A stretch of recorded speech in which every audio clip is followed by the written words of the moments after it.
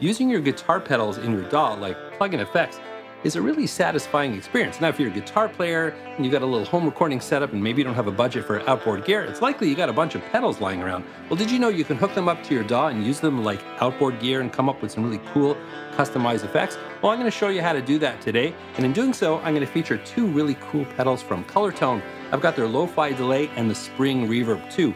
We're getting a little old school today. Why don't you join me?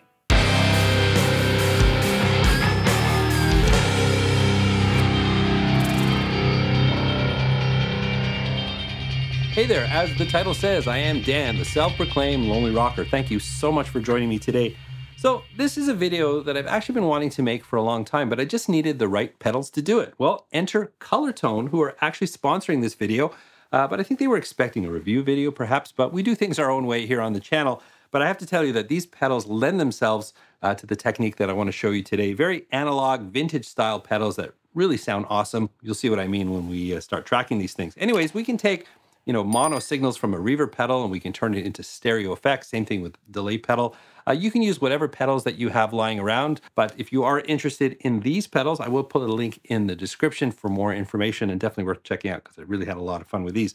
All right, let's get it hooked up and hear how this all sounds.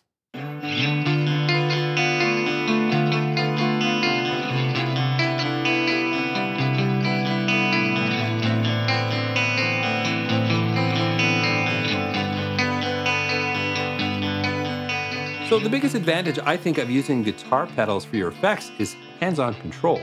It becomes an extension of your performance. Now don't get me wrong, I love plugins, I've got tons of plugins in my system, and they do things that are not possible in the physical world.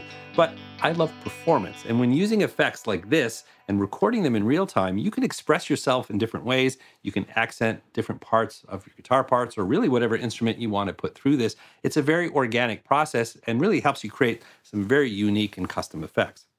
So I want to show you a mix example where all of the effects are handled by these two pedals. And uh, on the other side, I will show you how to hook it up and I'll give you some tips and techniques you can use if you want to try this for yourself.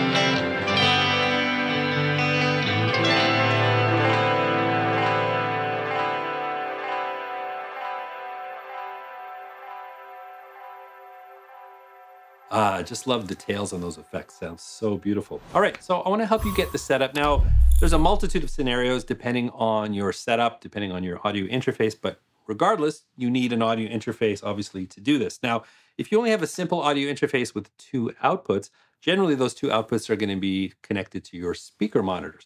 So if that's all you have, it's okay. You can still play the game, uh, but you're going to have to borrow one of the outputs, which means disconnecting your speaker. So I'd recommend working on headphones while you record the different effects. And yes, we're going to be recording the pedals and we want to do them individually. We're not going to, you can create a series of, you know, daisy chain of pedals and you can record them all if you want, but you're going to lose control of the individual effects. So we're going to do multiple passes of our reverbs and our delays, and then you can mix them later on. So just borrow an output if all you have is a two channel output just to get this set up. And then once you've recorded all of your effects, you can just put your speaker monitor back in and get to mixing. So let's start with that simple scenario where we take the output of uh, from our audio interface. We're going to plug that into our pedal or the first pedal in our series of pedals.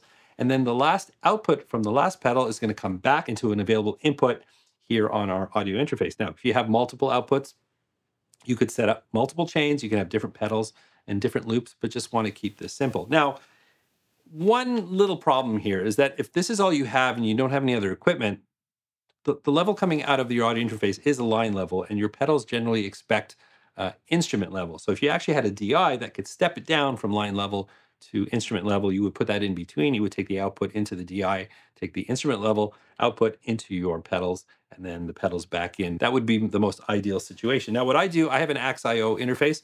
This is actually the AXE I/O one, but similarly has this amp out. This is a reamping audio interface. So if you're set up for reamping, then you would take the reamp output into your pedals, and that is the most ideal situation. So, but if you just don't have that, you can experiment with what you have. Just be really careful with those levels because you're going to find they're really, really hot, and you can bring them down uh, inside your DAW. I don't know if there's some kind of impedance mismatch or something like that, but that's uh, above my pay grade. By the way, if you're like me and you need some visual aids, I have PDFs of these setups and more available for you to download on my Patreon. Link is in the description. I use Logic, but the steps will be similar in most DAWs. Identify the track you want to affect and assign the output of the track to match the signal chain you made with your pedals. In my case, the mono output 5 is connected to my pedals, so I will select that. Then create a new track and select the input that your pedals are plugged into and make sure you are monitoring the input signal. Once you've completed setting up the loop, you'll be able to hear the effect coming in from the pedal. So once everything is set up properly and routed correctly and you're hearing uh, the pedals coming back into your project, you're really only limited by your imagination and the functionality on your pedals. Now, I just want to give you an idea of my setup here. I recorded everything with my Suhr Classic T Deluxe limited edition, and I recorded those DI. So in my project, I have all the DI tracks. And then I reamped all of those tracks through my ENGL Powerball 2. So in essence, I have all of the DI tracks, and I also have, we'll call it the finished tone. Now, here is where you've got options. Now, in my case, I decided to use the DI tracks to run through the pedals because I just wanted the purest representation of these pedals so we can hear the color and saturation that was created by the pedals themselves. You might be recording your amp direct so that you've got amp tone in your project. You can send the amp version, uh, the amp tone version through the pedals, uh, whatever you want to do. The fun part about this is that you can experiment. But once I had all of my effects recorded, I bypassed all my DI tracks, so I blended those uh, DI affected DI tracks with the finished tone, and I think it just gave me a nice balance of uh, you know real tone from the guitar and amp, and then these pristine effects. Again, you're not locked in. Now, uh, one thing I do want to note about my pedals here, so I am recording each individual pedal uh, one at a time. We're not recording them together because that would defeat the purpose. Uh, but I did add a boost pedal at the head of my chain here.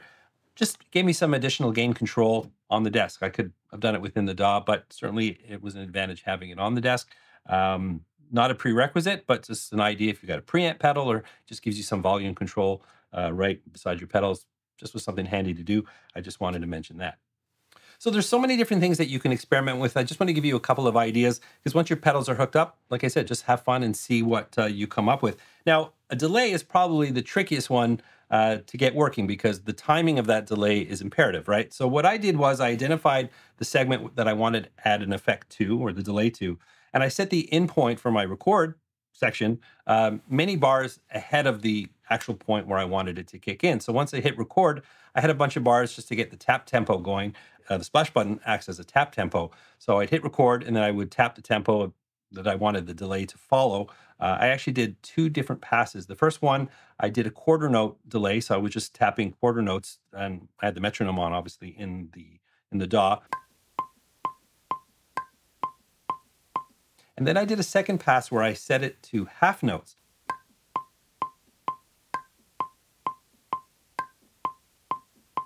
But the difference is with the second one, a great feature on the lo-fi delay is this wet dry modes. So in dry mode, the delay is only activated when you hold the splash button. So timing up that sort of half note delay, there's a little part of that guitar riff that I anticipated, hit it just before so the delay would catch it, and then I would let go, and then it would give me a repeat.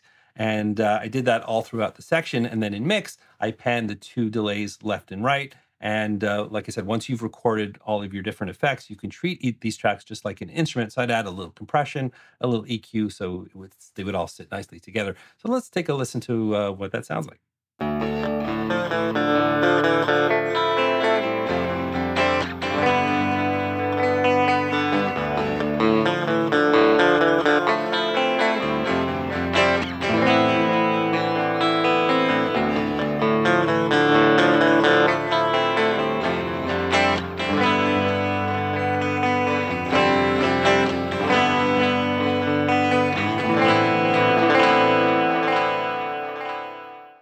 Important tip you need to know when recording pedals is uh, a pedal that has a dry wet mix. Typically, when you plug your guitar into it, you'll get your parameters set the way you want, and then you use the blend knob to get a good mix of guitar and effect. Now, what I did with both the delay and the reverb is that I set the dry wet mix all the way up because I want to get as much as that reverb as possible because I will be mixing it in the project. So there's no sense backing off on it. If you don't have enough, you can't add, but if you have too much, you can bring in back in the mix. But a consideration is something like a reverb that has like a decay setting. If you set the decay too high, you might have a runaway reverb that's just going to get noisy. So I would get the reverb working the way you want it and then just crank the dry wet mix all the way up and make sure you get uh, as much of that effect as possible. So when you mix it back, you'll have a lot, a lot of latitude uh, to get that working. So I did pretty much the same thing with the Spring uh, Reverb 2. Uh, but the nice thing about this particular reverb, there's sort of like a dual layer pedal. If you hold down uh, the, the button here um, for a couple of seconds, the second red light on the left will turn on, and then the four knobs are now controlling the second layer of features. And there's a great modulation uh, feature in this reverb pedal. So what I did was is I did sort of a typical, more know, regular reverb for one side. And then on the second one, I played with the modulation so I can get a really cool shimmer effect. And then same thing like I did with the delay, and the splash feature on the uh, lo-fi delay. With this one, as I played with the intensity of the shimmer effect, so I sort of anticipated certain sections where I wanted to feel that shimmer kind of come in. I dialed it in, I dialed it out, all doing it freestyle, right? And try I did a couple passes until I got it just right. And when you listen to it, it's really, really subtle in the mix, but it almost sounds like kind of violin sort of fading in and out. Really, really beautiful. But those two reverbs working together uh, in the mix, I think works really, really well. But let's take a listen to that.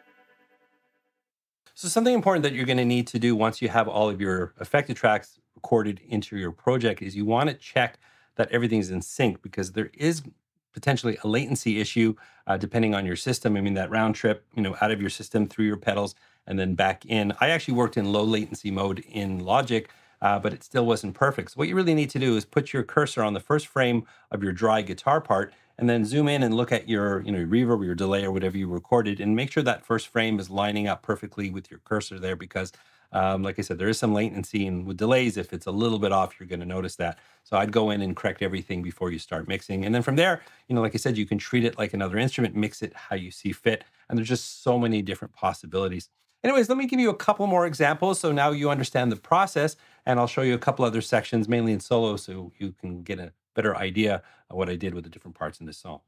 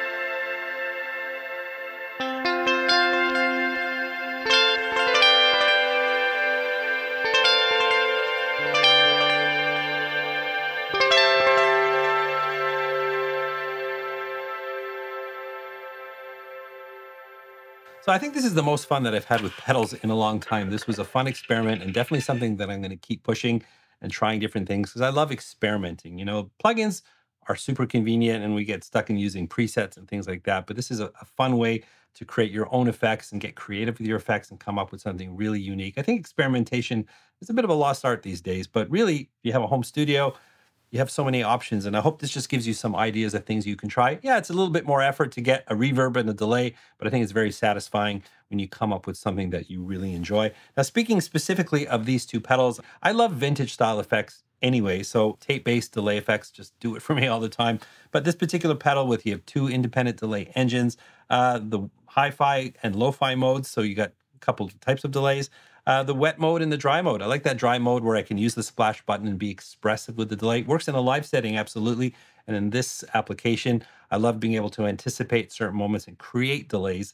Uh, and like it's just very expressive, and I think that works really well in a track. So lots to offer on the lo-fi delay and the spring reverb too. Uh, at first, you know, I was thinking spring reverb, what am I going to do with that? But wow, you got some really lush uh, reverbs here with long decay times, and that second layer of uh, parameters and those shimmers are so beautiful. They just offered so much, and you know, creating those beautiful stereo delays uh, really, really worked well in this situation. Really, really impressed how both of these pedals performed. But I'd be excited to hear about some of your experiments. Uh, let me know in the comments.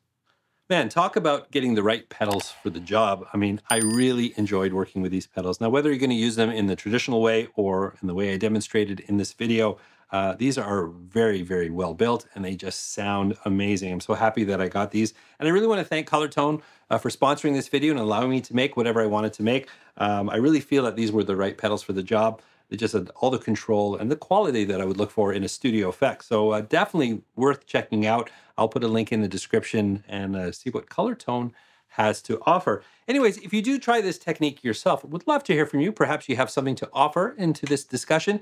That's what the comment section is for. But if you did like this video, please don't forget to like, subscribe, and ring that bell. And remember, you don't need a band to rock and roll. I'll catch you in the next one. Hey, you. Yeah, you. You made it all the way to the end. I'd love to know who you are. Perhaps you can let me know in the comments. I've got another video waiting for you right here if you want to check it out. And if you check the description, there's all sorts of ways to support the channel. Affiliate links, I'm on Patreon, and I've got merch. It's all in the description. And I hope to see you again in another video.